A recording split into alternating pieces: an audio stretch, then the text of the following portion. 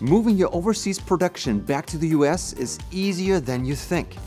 Hi, I'm Matt Poischbeg, General Manager of Sea-Lect Plastics Corporation.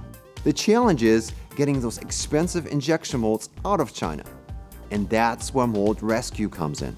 We know the hurdles, the tariffs, the red tape, and the reluctant suppliers full of excuses. We have Americans on the ground in China who can knock those hurdles down.